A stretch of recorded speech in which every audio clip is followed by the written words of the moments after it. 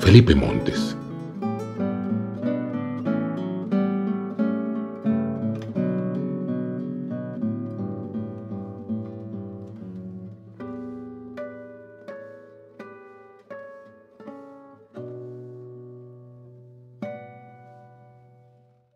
Hola, estimados amigos y amigas, bienvenidos a quienes nos acompañan en la página del CEPSURE, del Colegio de Escritores y Poetas del Sureste. El día de hoy vamos a revisar esa temática de la narrativa en la actualidad. Y tenemos con nosotros a dos escritores, dos reconocidos escritores, el maestro Alejandro Aldana Sergio, bienvenido. Gracias. Gracias. Y el maestro Felipe Montes Espino Barro, también escritor de novelas. Bienvenido, Felipe. Muchas gracias. Me da mucho gusto estar aquí. Y vamos a iniciar con eso. ¿Cómo va la narrativa en la actualidad? Le voy a preguntar al maestro Alejandro Aldana, quien es doctorante en educación con especialidad en filosofía, maestro de estudios humanísticos de especialidad en literatura, del ITEMS miembro del Seminario de Cultura Mexicana, del Consejo Editorial de Coneculta Chiapas y recibió el premio Pergamino Juan Rulfo de Lepech, el premio Caballero Águila de UNACH y la Fundación Mario Magaña y el Premio Nacional de Conalitec. ha impartido talleres durante 20 años de creación literaria y filosofía. Fue maestro de narrativa en la Escuela de Escritores de la SUGEN Chiapas y ha escrito en revistas, ha escrito en diarios y ha publicado varias novelas. Maestro Alejandro, la narrativa desde su perspectiva. Bueno, buenas tardes a todos, muchas gracias. Em, pues yo eh, eh, quizá tendría que comenzar hablando rápidamente en dónde se inscribe la narrativa actual que es importante que nosotros hagamos un, un paralelismo en lo que está ocurriendo en la literatura y lo que está ocurriendo en el contexto social y político eh, que siempre tiene que ver, ¿no? Eh, recordemos rápidamente que quizá uno de los movimientos más importantes últimos que tuvo la narrativa inscrita en lo que llamamos la modernidad fue el, llamado boom de la literatura latinoamericana, eh, el cual se fue configurando en torno a lo que fue la Revolución cubana. Recordaremos nosotros que aparte de, a partir de 1958 este, y 59, que son los momentos álgidos de la, de la revolución, el triunfo de la revolución, y después los siguientes años en los que grandes escritores que integraron el boom de la literatura latinoamericana eh, van a, tener fobias y filias en torno a, esta, a, este movimiento social tan importante y que va a reflejar un poco el pensamiento que se tenía político, pero también lo llamamos así filosófico en ese tiempo, ¿no?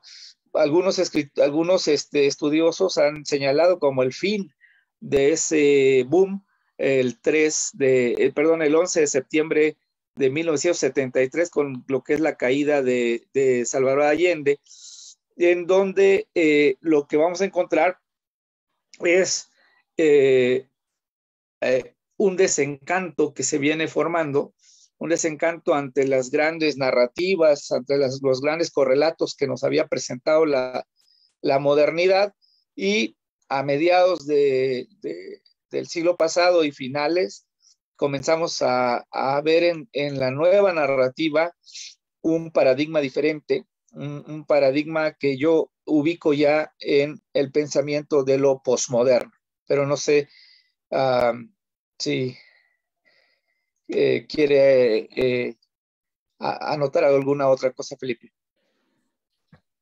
Bueno, Gracias, gracias, maestro Felipe Montes. Eh, perdón, Felipe. Felipe Montes, escritor de Monterrey, México, herencia familiar en el arte, que ha construido desde los 13 años un extenso poema narrativo titulado Monterrey, cuyo universo literario comienza los mitos y la vida cotidiana. Sus libros son Casa Natal, Catedrales, El Vigilante, El Enrabiado, Sólido Azul, El Evangelio del Niño Fidencio, Dolores, La Casa Natal, El Pozo de Fuego, Rosalma, Hierbabuena, Barrio de Catedral y de Brasas y Cenizas. Sus obras se leen en más de 14 países. Adelante, Felipe. Muchas gracias. Pues plenamente de acuerdo con, con Alejandro Aldana. Eh, y, bueno, como la exposición que hiciste fue un, me parece un excelente resumen ilustrativo de lo que ha ocurrido hasta el momento que, que tú atinadamente llamas posmodernidad, pues quisiera nombrar solo algunos de los autores que, que han sido asociados con la posmodernidad desde hace varios años hasta nuestros días. Em, recordarán ustedes que em, eh, gente como Bulgakov con su novela El maestro y Margarita o La vida, instrucciones de uso eh, de, de em, del francés de Loulipo, ahorita, ahorita les digo el nombre, no, es Daniel Penac, em, tienen... Eh, George Perec, muchas gracias Alejandro. Eh, en alguna forma herederos de las, las acrobacias estéticas muy bien logradas de alguien como Joyce y sus herederos, eh, el autor de Berlín Alexander Platz o Manhattan Transfer de John Dos Pasos, eh, Alfred Doblin es el primero, John Dos Pasos el segundo, pues eh, se ha liberado eh, por el lado estético la literatura, a, grados que a algunas personas les pueden parecer excesivos. Algunos autores hicieron hace de 20 años para acá libros que estaban hechos exclusivamente de signos de puntuación, punto y coma, punto y coma, coma. Y, y qué bueno que quizá a mucha gente no le interese como lectura, pero para los investigadores pues es un, una, un filón eh, no diré rico, pero sí, sí que hay que tomar en cuenta, ¿no? Eh, leemos, por ejemplo, gente que eh, con esa herencia que mencionaba Alejandro Aldana, em, da su opinión política a partir de una narración, y ahí vale la pena recordar una, afirmación que decía, muy curiosa, em, del autor de Tokyo Blues. Decía, para, eh, Murakami dice, para escribir una novela hay que ser un poco lento de pensamiento, algo así dice, ¿no?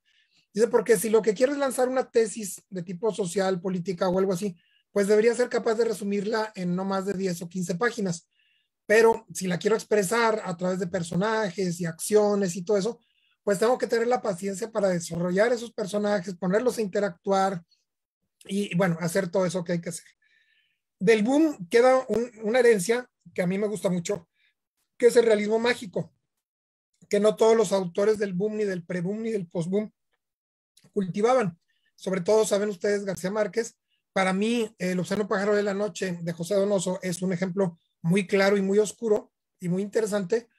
Y de pronto encontramos que eh, la única persona que se ha ganado dos veces el premio Booker es Salman Rushdie y nada menos que con una novela de realismo mágico, pero claro, ambientada en su natal India o Günter Grass, eh, premio Nobel, o eh, Knut Hamsun, premio Nobel en tiempos anteriores, em, o Milán Kundera, siempre novelable, tienen los ingredientes de realismo mágico, pero muy aplicados a sus lugares de origen. Mo Yang en China, lo mismo, y todos ellos coinciden en que han sido grandes lectores específicamente de 100 años de soledad. Entonces, bueno, esa, esa es una beta. Ahora bien, eh, el terreno de lo, de lo eh, canónico en literatura, muy sancionado por eh, la crítica especializada, no es el único mundo que hay que analizar. Están también los mundos de las editoriales asociadas con sus propios concursos o algunos concursos cercanos a ellas, en donde notamos una narrativa que está cercana a, a, buscar y coquetea continuamente con la filmación de películas, es decir, a veces adivinamos en la escritura de un libro, le pasa a Alejandro, te pasa a ti, que pues leemos un libro y decimos, bueno, aquí se ve muy clara la intención de que se filme, para bien o para mal. Em, el negocio de los concursos o lo cuestionables que han sido algunos de los resultados eh, previamente pactados con el escritor que a fin de cuentas va a ganar, o incluso los casos de, de plagio, algunos de ellos probados, pues ponen en tela de duda la, la moralidad quizá de ese manejo, pero no tiene por qué eso salpicar a todo el mundo editorial ni el de los concursos. Y hay por lo menos un tercer mundo, y, con esto me gustaría más bien escuchar la opinión de Alejandro. Ese tercer mundo, si nos fuéramos a restringir a, tres mundos, es el de Internet. eh, e Internet como un gran democratizador de, no tanto de la creación literaria, que lo es, sino sobre todo de la publicación, en donde no hay editores que seleccionen o no, también para bien o para mal. Está Wattpad, donde cualquier persona puede poner su texto y muchos de esos escritores son eh, altamente reconocidos. Y eh, la publicación en Amazon, la autopublicación en Amazon vía el, el concurso de Amazon o vía el, eh, la autopromoción a través de otras redes sociales, Facebook, Twitter, Instagram y demás. Y bueno, en un mundo que todavía no está bien conciliado con el mundo de las editoriales. No, no por culpa de ellos, sino quizá por culpa de que eh, una gran cantidad de lectores siguen en el, en, eh, bueno, mantienen la necesidad de una, una legitimación por parte de editoriales y críticos para los libros que lee y por otro lado, otra masa que está leyendo a sus colegas y compañeros en cantidades también de centenas de miles, que eh, selecciona sin filtros de, otros intermediarios, editores y críticos, eh, simplemente con respecto o con base en las recomendaciones que las mismas redes sociales están haciendo. Esta novelita basada en Harry Potter tiene cinco estrellas, te conviene leerla. Esta mezcla eh, algo de Latinoamérica pero con Estados Unidos, o esta es una novela romántica. Estoy hablando de géneros que suelen asociarse más con lo comercial, pero no son exclusivos ni de uno ni del otro eh, lado, de ninguno de los tres mundos. Y bueno, ese es mi, mi apunte en general. Sí, yo creo que a partir de lo que nos dice Felipe, yo regresaría a decir algo que, que mm, de, pronto se ha perdido de vista. Es decir, después de la publicación del Ulises de Joyce, no es posible seguir escribiendo un tipo de novela que era la novela del siglo XIX, ¿no? Es decir, la, novela decimonónica nos planteaba problemáticas, filosofías, eh, técnicas em, que, correspondían a un tiempo, a un tiempo, eh, una manera de ver el mundo y de aprender el mundo. Pero desde que, desde que aparece el Ulises de Joyce, 1922, eh, necesariamente hay una nueva manera de entender la literatura y la literatura en un sentido amplio. Recordemos que en, ese mismo año 1922 se publica La Tierra Baldía de T.C. Eliot. Eh, entonces es un año fundamental, un año que nosotros tendríamos que volver a estudiar eh, como quizá el, eh, uno de los años en donde la, la mirada posmoderna ya aparece en la literatura, donde ya los lenguajes ya no son los mismos, en donde ya no podemos tratar una problemática de cualquier tipo psicológico, eh, intimista, eh, novela de aventuras, etcétera. Mm, la novela de amor, el mismo Joyce hace parodias dentro del Ulises. de, de, todas estas técnicas que él, él, pensaba que ya estaban agotadas y que se tenían que renovar. Y entonces si bien la novela fue difícil, pues, para publicarla, luego difícil para, para el entender la novela, hoy sigue siendo una de las novelas más difíciles, quizás solo em, superada por el Finnegan's Wake del propio eh, James Joyce, pero a partir de ahí, como bien lo dice Felipe, va a aparecer un número cada vez mayor de escritores que se van a inscribir como eh, hijos, por llamarlo de alguna manera, de eh, Joyce, ¿no? Y ahí va a venir toda la, generación perdida de Estados Unidos que, nos van a decir, eh, como el Manhattan Transfer que, nos eh, mencionabas, eh, que nos va a decir, podemos escribir desde diferentes ópticas, técnicas, y que van a, a recurrir a otros lenguajes que no son puramente literarios, ¿no? Si, si, en, si, en, algún momento se buscó la pureza del lenguaje y de las estructuras puramente literarias, si esto fuese posible, fue en el siglo XIX, eh, y, pero en el siglo XX ya no, pierde su pureza, pues pierde su pureza incluso la misma poesía. Es decir, se, contamina en el mejor sentido de la, palabra, se contamina de otros lenguajes, como, lo dice Felipe, eh, primero el cine, ¿no? Eh, con una técnica que, es el montaje. De Einstein, que, que, aparece en las novelas y que aparece en el mismo Joyce, en en el mismo Ulises, y que nos obliga a los lectores a leer de manera diferente. Es decir, el lector que se había formado con los cánones del, decimonónicos, de pronto se encontraba que era un analfabeto funcional en términos de narrativa porque no entendía lo que estaba leyendo, ya no entendía y entonces decía, pero si yo eh, puedo leer a Flaubert eh, con gran, este, eh, incluso disfrute de la lectura, ¿por qué ahora yo ya no puedo leer a Joyce o después a Perec o, después incluso al mismo Roberto Bolaño, ¿por qué se me dificulta? O, César Aira, eh, ¿por qué se me dificulta leerlo?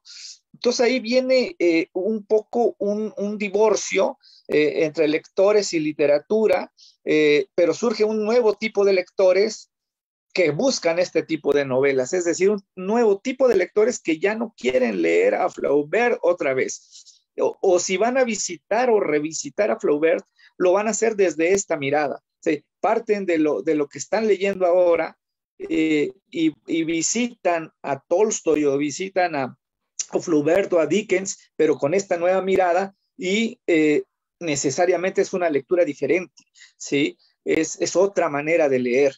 Un poco como decir, eh, los lectores del siglo XX y lectores que crecieron o que están siendo formados con esta nueva forma de lectura, esta nueva eh, eh,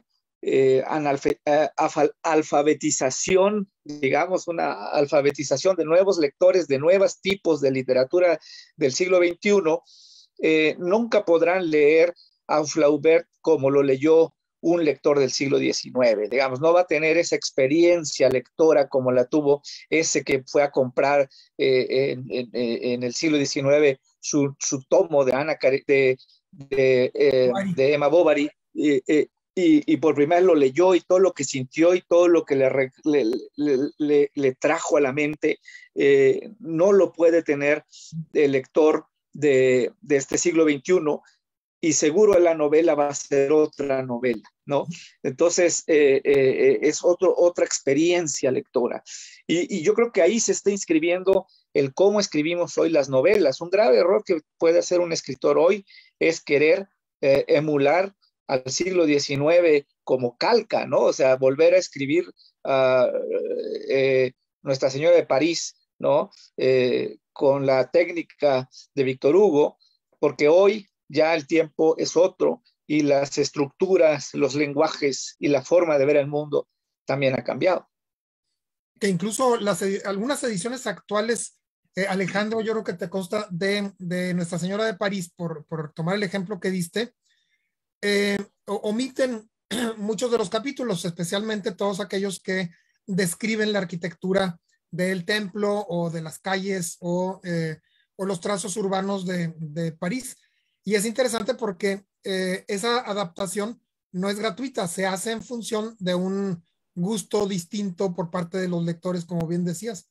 Ahora bien, no sé si estés de acuerdo, Alejandro, en que esa redefinición de la literatura que eh, eh, abarca, afecta positivamente a, la literatura canónica que leemos, también da un espacio ante su dificultad para muchas personas, ante el desafío que representa, da espacio y un espacio creo yo considerable para mucha literatura que no es bien vista por eh, la crítica, que es más sencilla, que sí se basa en la historia, en el argumento, e incluso en el entretenimiento en muchos de los casos, pero no, no en todos. Eh, y, eso ha acercado a más gente, creo yo, a la literatura, a la, a la relectura de aquellos clásicos, porque sin duda, después de leer Herederos de Dickens en la actualidad, quien busca en el origen de su fuente y lee Oliver Twist, dice, bueno, esto es lo que yo buscaba en la literatura. Y probablemente de ahí lleguen a Joyce, probablemente no, pero eh, creo que esa democratización es, es poderosa, es interesante, forma algunos bandos ¿verdad? No, no bien conciliados, pero eh, da una gran variedad a lo que estamos haciendo. No sé cuál sea tu opinión, colega.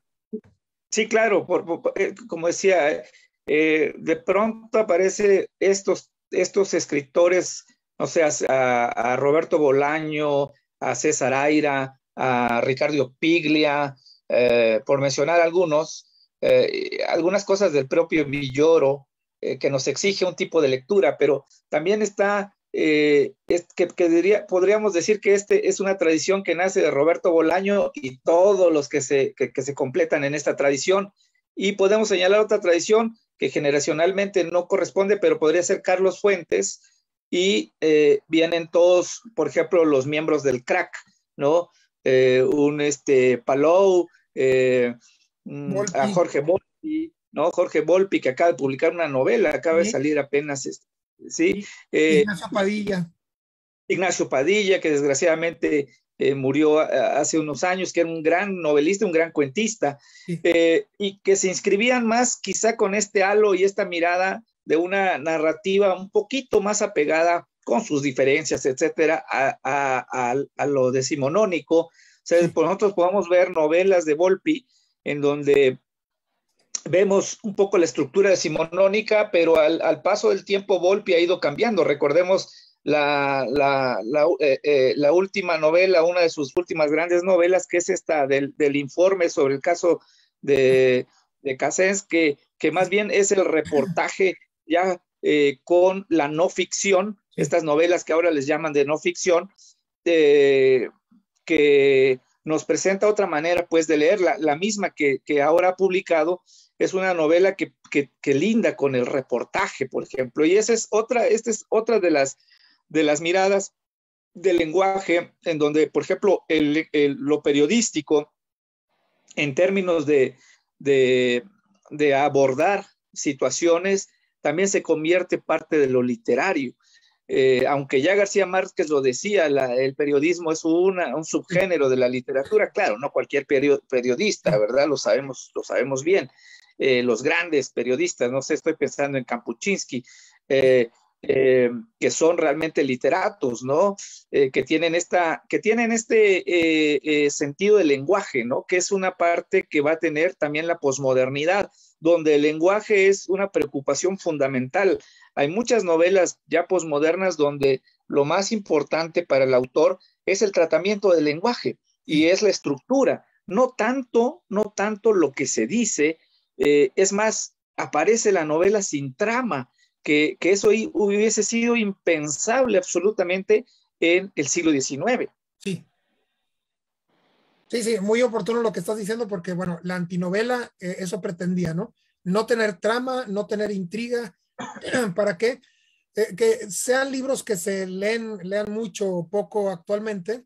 Em, la, la experiencia que nos llevó Francia por ese camino, pues es muy interesante y de ahí salieron también, eh, aunque no parezcan, novelas como, como Nada de Carmen Laforet y otras que, que recibieron influencia de Miquel Butori, de, de otros antinovelistas, ¿no? De Nathalie Sorrot.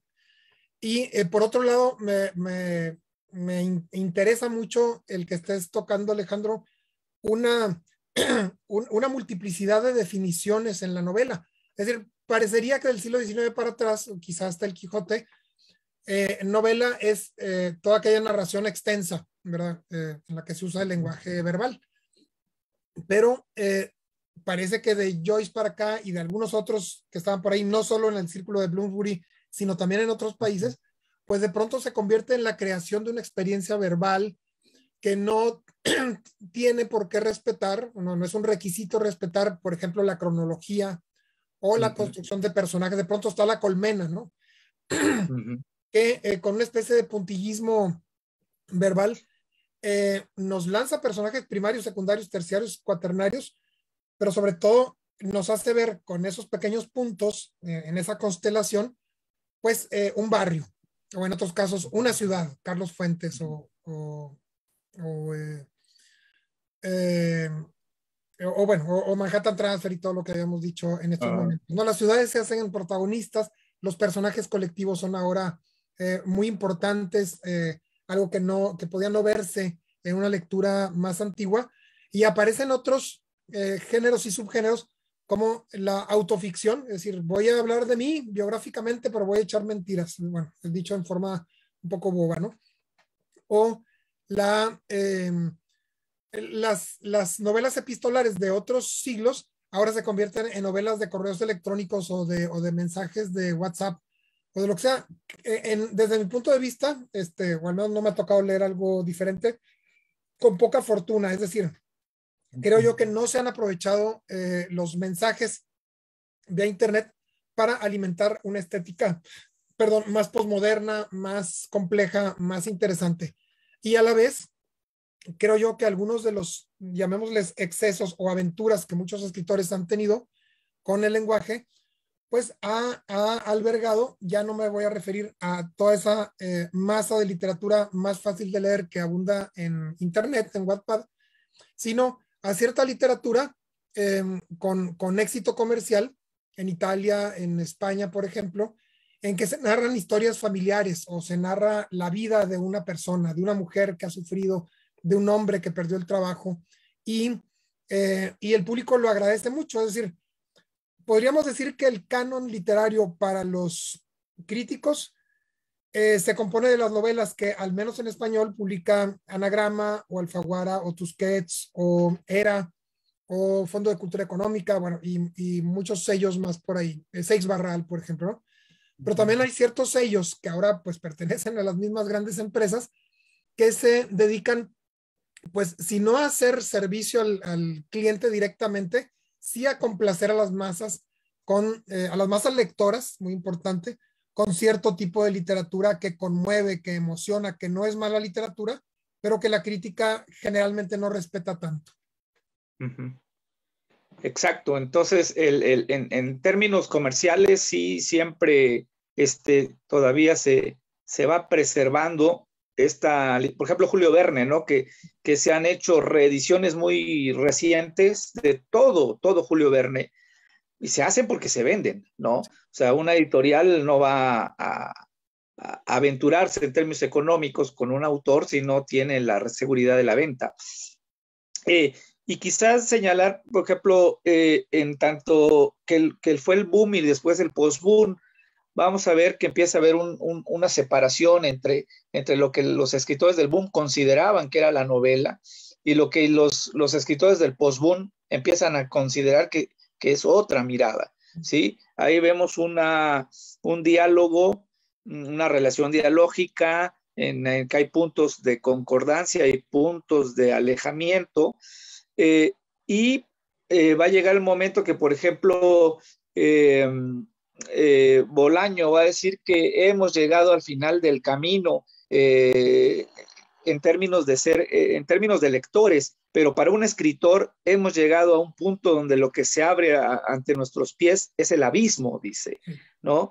Entonces es importante lo que va señalando en, estos términos del abismo. Nosotros tendríamos que pensar a qué se refería con el abismo, ¿no?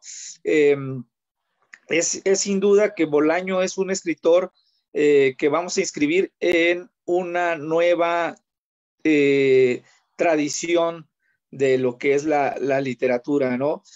Eh, por ejemplo, señalabas El obsceno pájaro de la noche de José Donoso, que es una extraordinaria novela del, boom, oscura, quizá adentro de, otro paradigma estético, sin lugar a duda, eh, un paradigma que, costó mucho trabajo, ¿no? Que, cuando se, primero costó mucho trabajo publicarse, ¿no?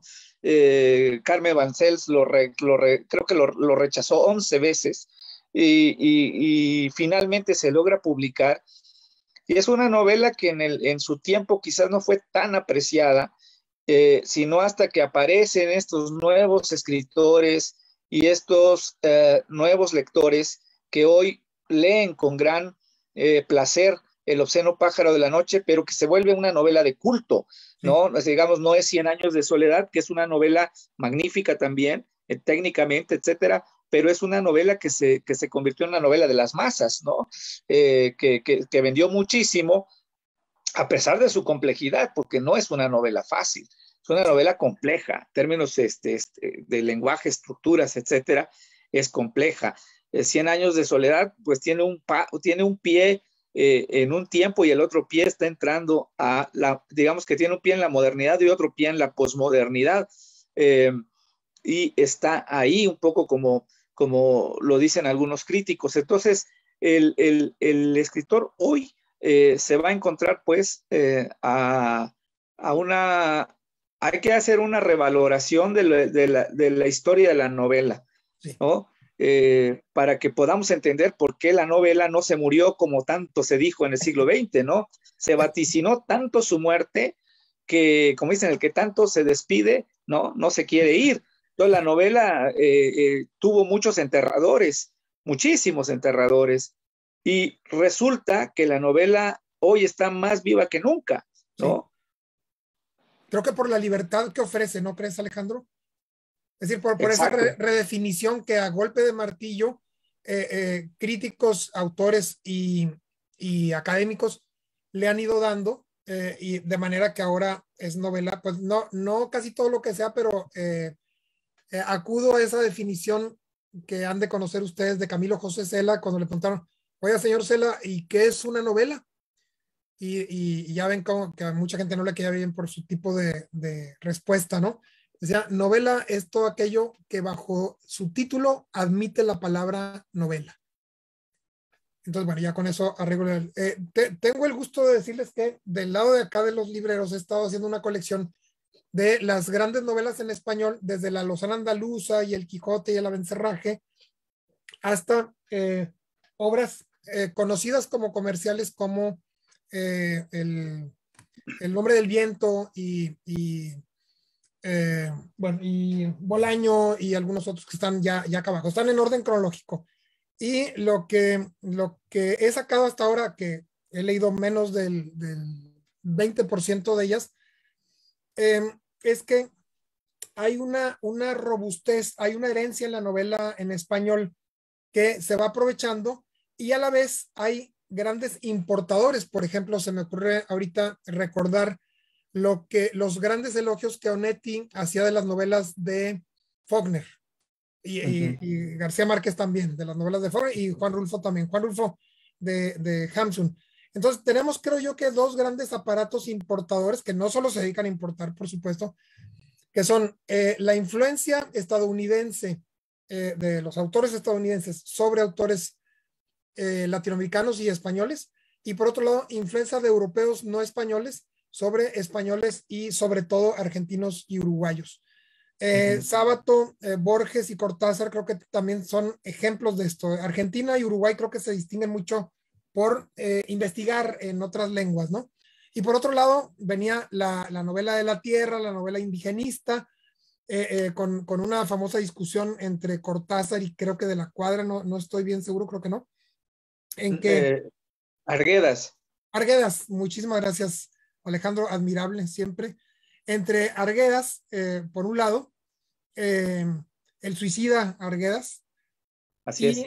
¿Verdad? Y em, defendiendo él las raíces, pero mucha gente diría, no, pues las raíces ya pasaron, ya eso huele a tierra y todo eso.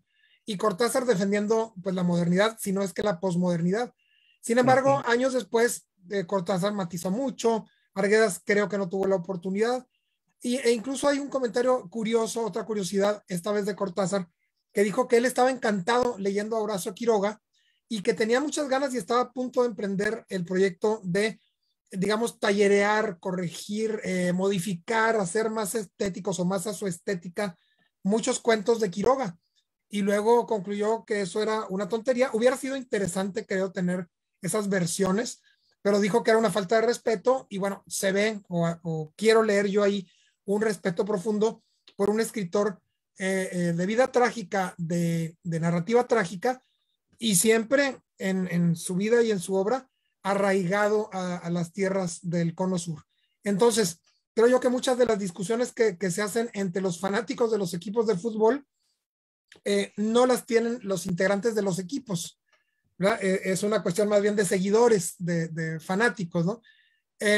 Y por eso a mí me gustaría, y si me lo permites Alejandro, nada más decir que, que si alguien nos está escuchando elogiando a ciertos autores, los que Alejandro ha preferido, los que yo he preferido, los que conocemos los dos, que no quisiera yo que se quedara con la impresión de que novela es solo lo que nosotros decimos o lo que nosotros em, seleccionamos sino eh, que si alguien quiere aventurarse en la novela, el cuento, la poesía o cualquier género que se le ocurra, que primero lo haga y luego vea qué es lo que le salió, que no lea primero las definiciones para luego hacer algo para atender a esas definiciones. No sé qué opinas al respecto, Alejandro Aldana.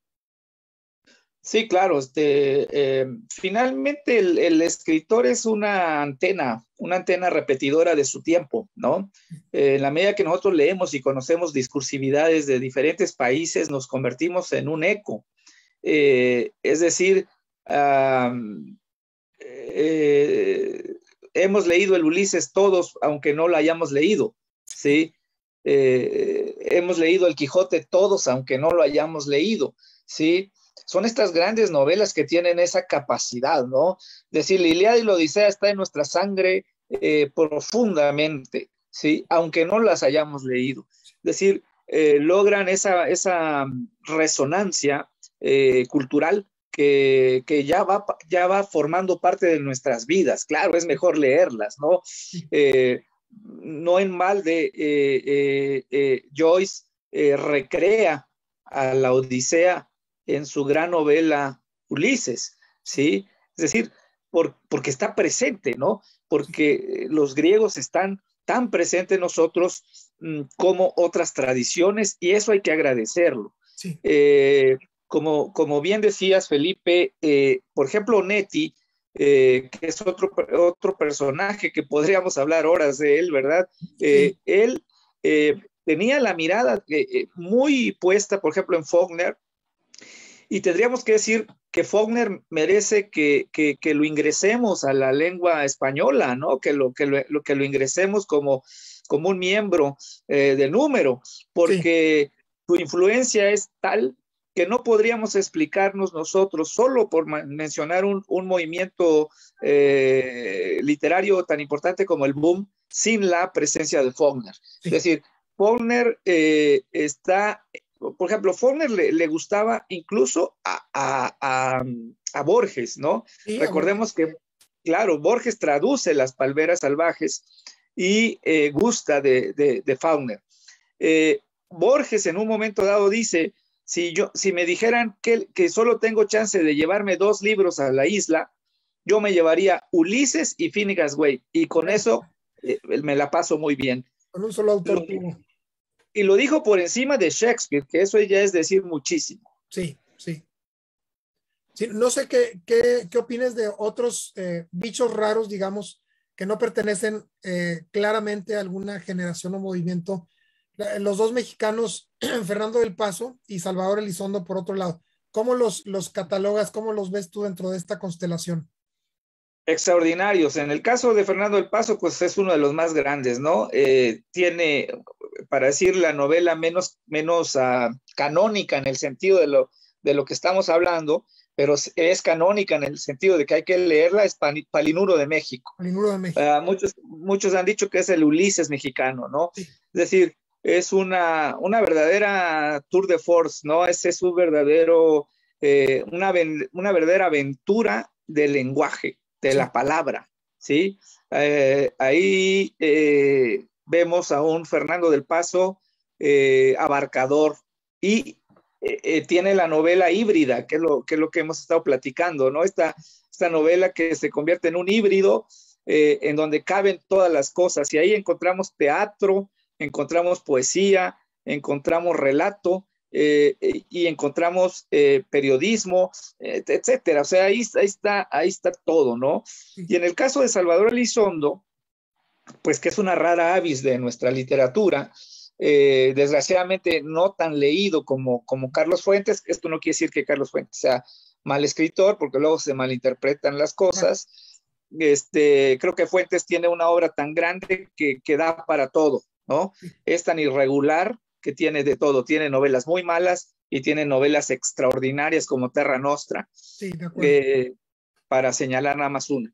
Y el caso de Elizondo, pues Farabov que es una, una novela extraordinaria que totalmente eh, está separada de la tradición de, decimonónica, ¿no? Tenemos una novela que nos cuenta la eternidad de un instante, ¿no? Sí. Eh, ya, ya, desde ahí, pues nos está diciendo por dónde va ese proyecto narrativo impresionante que es este Salvador Elizondo. Sí.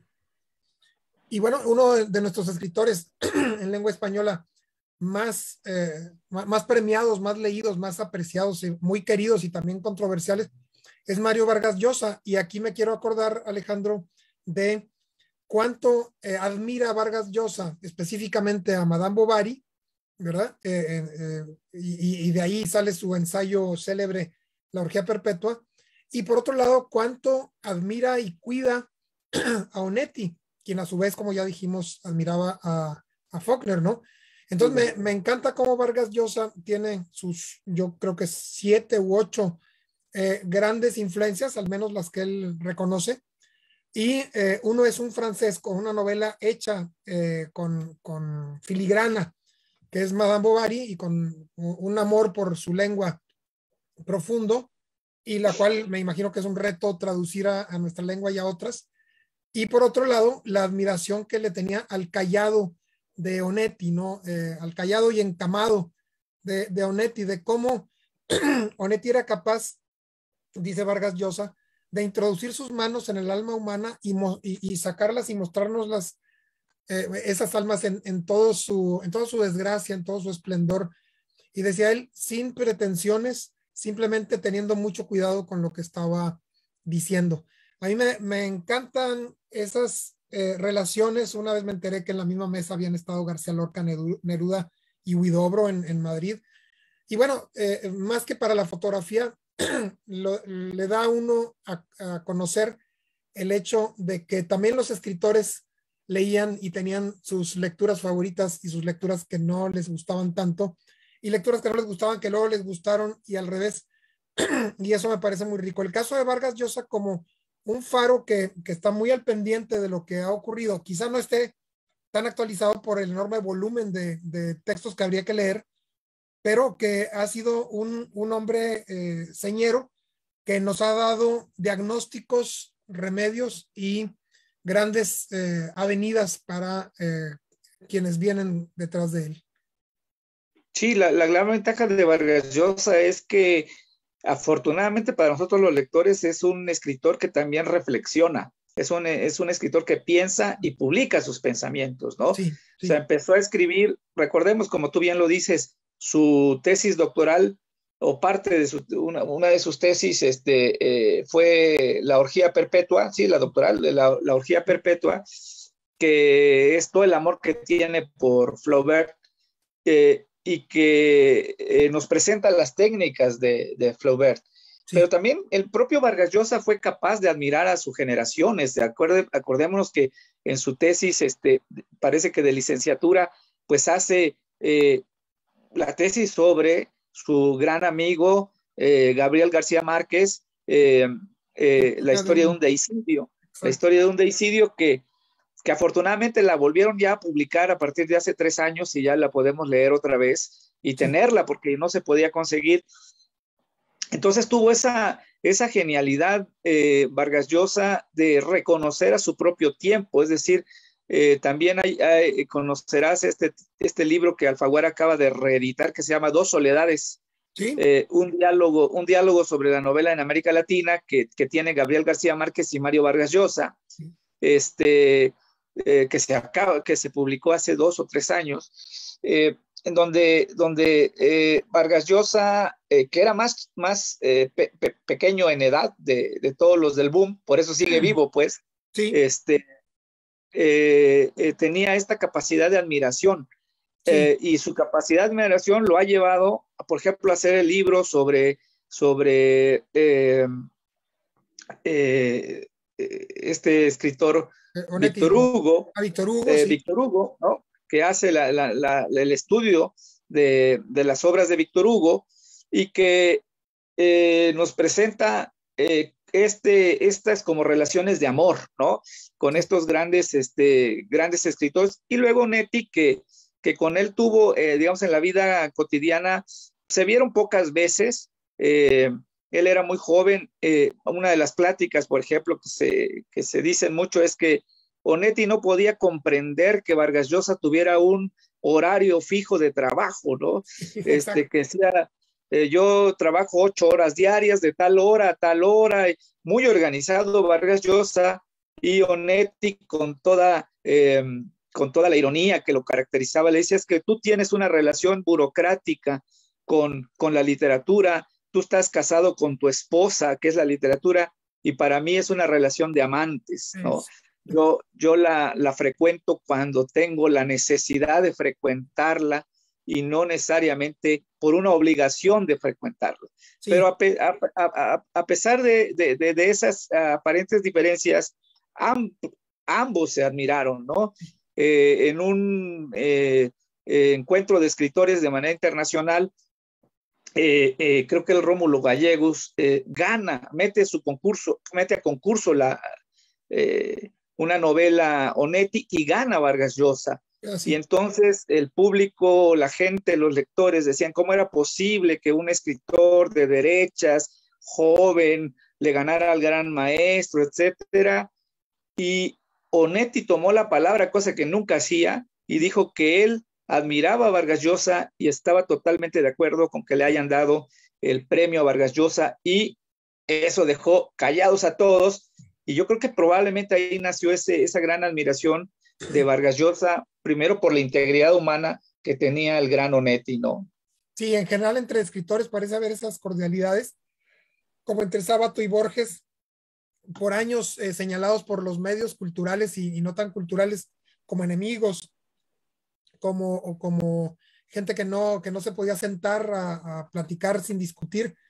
Y bueno, y, se desmintió todo esto precisamente con ciertas fotos en que los dos están sentados en una banca y luego creo que en una banqueta, dialogando el par de, ancianos, ¿verdad? De, sabios, el par de, sabios ancianos que, eh, que, mucha gente quería ver agarrándose a golpes. Y me, parece muy oportuno, Alejandro, que eh, reconozcas ese valor que tiene para nosotros eh, la reflexión que hacen escritores de manera formal.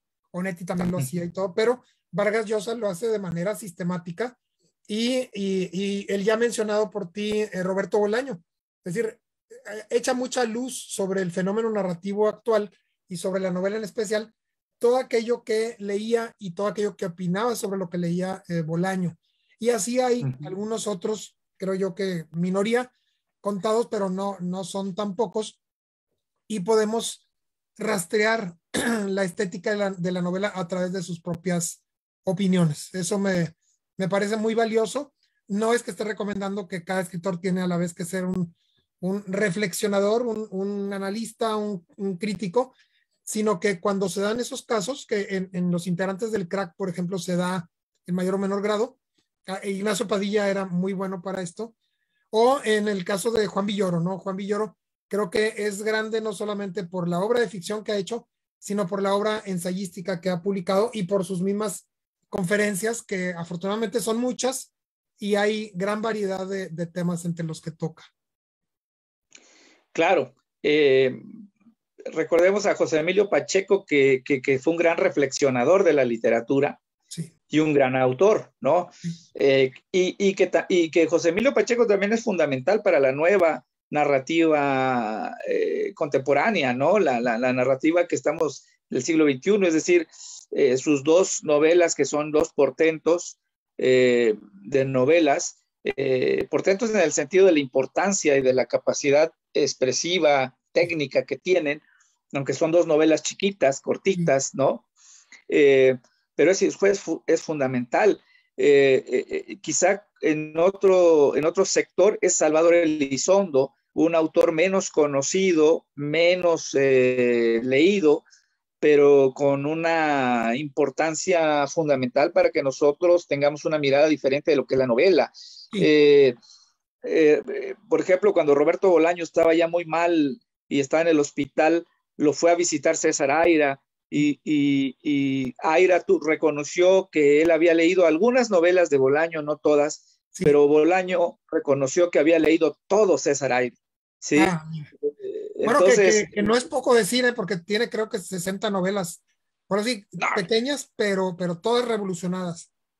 Exacto, no son novelas fáciles, eh, rompen con todos los elementos. Yo creo que la última eh, el último eslabón que no se había roto lo rompe Aira, claro, lo rompe antes eh, Joyce. Necesariamente Joyce es como un dios al que regresaremos siempre, ¿no? Que es romper la verosimilitud. ¿No? Se había, ya se había roto todo, pero siempre se guardaba la, la, verosimilitud como una tarjeta que no podía faltar en ninguna novela. Y lo que Aira llega y nos dice, y el propio Bolaño, ¿no? Este, es la verosimilitud también puede ser eh, eh, violentada o, este, violentada, eh, sí, modificada, maleada, de tal suerte que, que, ya no tengamos las grandes verdades de la, de la modernidad, porque la modernidad era la verdad, es tal cual, y entonces como la verdad se nos presenta en su totalidad y en su contundencia, entonces nosotros los escritores tenemos que ser verosímiles, es decir, no puede existir el, estaba el famoso principio de, no contradicción de la lógica desde Aristóteles, y eso lo, era algo bendito, sagrado, que no podíamos romper. Con ellos, el principio de no contradicción se va al, tambo de la basura y entonces encontramos escrito, eh, recuerdas cómo me hice monja, ¿no? Eh, monja, eh, el personaje, ajá, el personaje es un niño, pero que, de repente se, vuelve mujer y no nos explica cómo ni por qué, nada. Y el niño aparte se llama César Aira, ¿no? Entonces, sí. complicadísimo. Si alguien lo puede vincular con Orlando, ¿verdad? De, de Virginia Woolf. Eh, y sí, y me estoy acordando, qué bueno que mencionaste cómo me hice monja, porque me acordé de uno, eh, no me acuerdo si se llama algo así, algo parecido al avispón verde, pero no recuerdo cómo se llama, en que un, un arenque o un salmón que mide algo así como 300 mil años luz, eh, muerto, además, viene acercándose a la Tierra por un costado y que está a punto de hacer contacto con Buenos Aires, además. Entonces, no puede uno negar que eso es novela también. No por ser menos verosímil, no por no ser cronológico. Es decir, parece que simplemente con que esté hecha con el lenguaje verbal, no necesariamente escrito, además, que puede ser lenguaje verbal oral o lenguaje verbal escrito, pero una novela quizás simplemente requeriría cierta extensión y parece que tampoco ahí tenemos a, a Unetti otra vez o al mismo Aira. Entonces, eh, eh, que viva Camilo José Cela con su palabra novela bajo el título y, no sé si estés de acuerdo en que esto hace más divertida la aventura, más rica, más ingeniosa, más llena de vericuetos y de discusión también y, siempre creo yo a favor de la literatura. Claro, y, recordar nada más para, si hay jóvenes escuchándonos, que no es, eh, que no corresponde a una, una apetencia, es decir, este, hoy se me ocurrió hacer una novela sin verosimilitud. No, tiene, tiene un fundamento filosófico, ¿no? Eso es muy importante. Es decir, estamos en la posmodernidad y la posmodernidad tiene un, un entramado eh, de premisas que son las que eh, estos escritores de alguna manera están mirando y por eso están escribiendo como están escribiendo. Es decir, en la filosofía se cambió la manera de ver el mundo, eh, se, se modificó la manera de, de, volver a, plantearnos las grandes preguntas fundamentales eh, y se han modificado eh, los abordajes. Entonces, filosóficamente hablando, es decir, por ejemplo, el, el, el, el, concepto de verdad hoy ha cambiado. Y nada más por mencionar un concepto problemático fundamental, pero también el problema ontológico, ¿sí? Es decir, es un problema ontológico finalmente. Eh, eh, el que la novela se presente sí como una, voy a hablar como Platón, pero que, que la novela se presente como una, una eh, un reflejo de, de, la ontología, ¿no? La novela es un accidente, la novela es un, un elemento que está inscrito en el tiempo y en el espacio, pues, y que por lo tanto eh, es se va a corromper, ¿no? En términos de que está en el tiempo y el espacio va a tener una, es finita, pues, es finita, se va, va a desaparecer. Pero esta novela que yo tengo en las manos, que es la novela del siglo XXI, está correspondiendo a una ontología, a algo que trasciende el tiempo y el espacio, que no está en la delimitación espacio-temporal y que es de ahí donde estamos partiendo para volver a plantear el problema de qué estamos entendiendo por novela. Sí, y, me parecen eh, descendientes, no sé si en forma consciente, de Rabelais, por un lado, con su Gargantó y Pantagruel y sus otras entregas, y de Lawrence Stern también, con su Tristan Shandy. Claro. Y, eh, y antes, como siempre, eh, derivados del Quijote y, y de esa, ese, ese realismo maravilloso, diría yo, en que es el personaje principal quien ve la realidad de una manera maravillosa y creo que corresponde muy bien con la estética que Carpentier pone en su ensayo. Y antes de eso, bueno, pues las mil y una noches, la Biblia y ya eh, directamente hacia los libros sagrados extensísimos como el Mahabharata o como el Ramayana, menos extenso, o como la literatura china o japonesa del medioevo o de ahí para atrás. Claro, y yo, yo pondría, yo, yo eh, agregaría a Chaucer.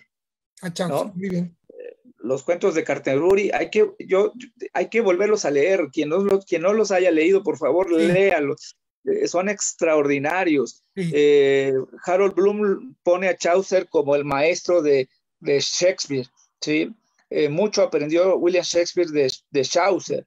Entonces, por algo está ahí, ¿no? Son estos. Y en nuestro, en nuestro continente, yo diría una novela que también se ha olvidado, que, que es de este gran escritor, eh, eh, bueno, Marechal, que es este ah, Adán Buenos Aires. Adán Buenos Aires, sí. Claro, que, que fue fundamental para que después eh, Julio Cortázar escribiera La Rayuela. Sí, y que no está terminada, por cierto, Adán Buenos Aires. Oye, y mencionaste Chaucer, y yo por justicia, bueno, por justicia se me ocurre mencionar a alguien a quien Chaucer está demostrado que leyó, que es Boccaccio. Es decir, el claro, de Camerón con, la, con una estructura similar, eh, no tantos años antes y que, y que Chaucer eh, leyó y tenemos esas dos joyas que son el de, el de Camerón y los cuentos de Canterbury, que no hay que perderse, tal como, como dices.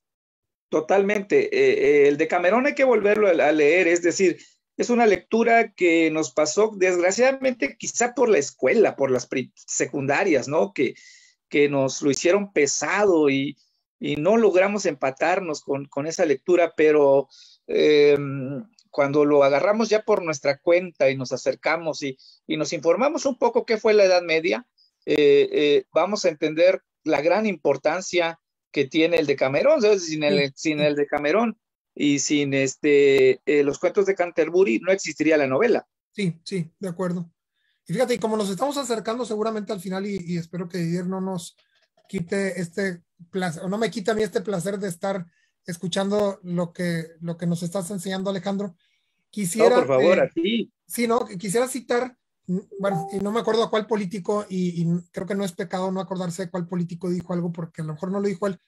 Pero bueno, recientemente Bukele dijo algo similar, que es si en el, si en el pueblo pequeño o ciudad grande o comunidad rural o eh, suburbio de gran ciudad, alguna de las personas que nos está escuchando eh, siente que eh, estos cuatro, cinco o seis siglos de historia de la novela o de sus parecidos eh, se le escapó, pues puede apelar a esa frase que más o menos decía, permítanos vivir nuestra edad media.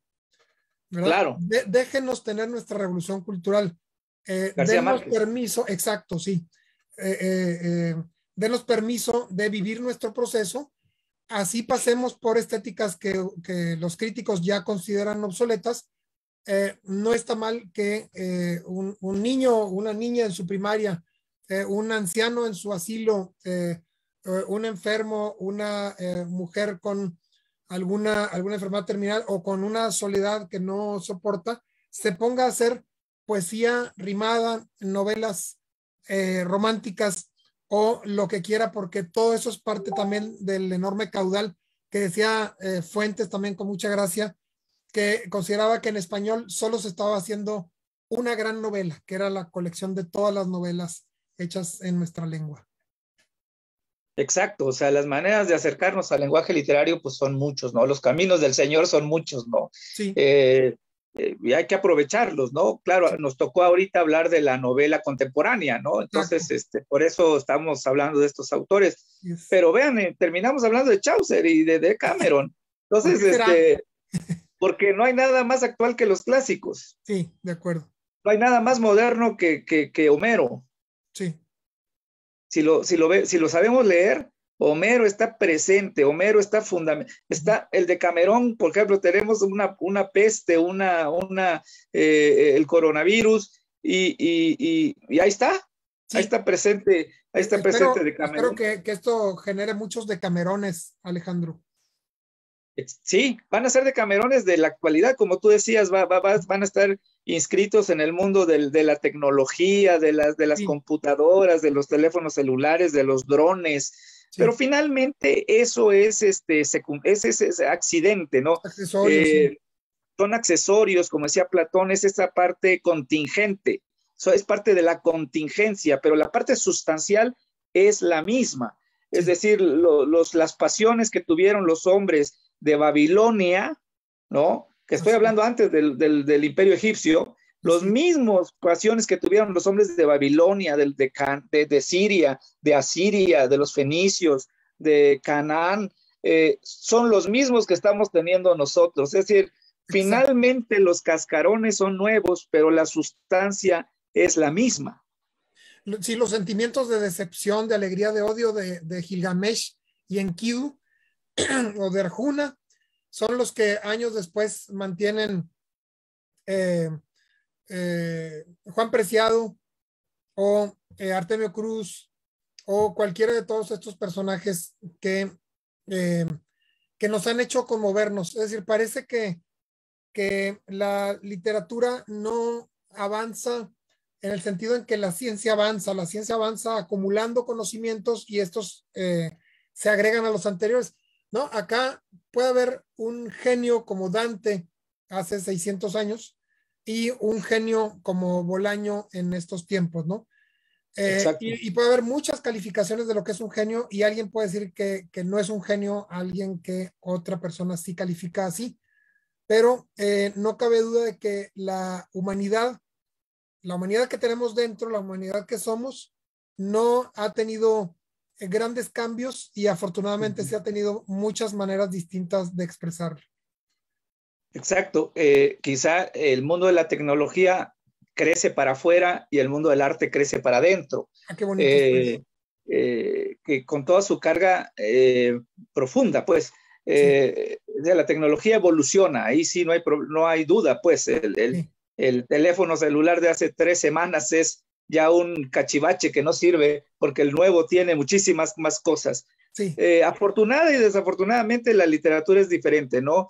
Puede haber un, puede haber un Shakespeare eh, eh, en, en, en, 1500, 1600 y, y, esperar hasta la Edad Media para que aparezca quizás un Dante que se le pueda más o menos este, comparar. Y no en balde, Harold Bloom dice que Shakespeare, quizá exagerando un poco, es el creador de lo humano cuando él dice que Shakespeare es lo, el creador del humano, lo que nos está diciendo es que en toda la obra de Shakespeare está todo lo humano, pero todo lo humano en el, sentido sustancial, ¿no?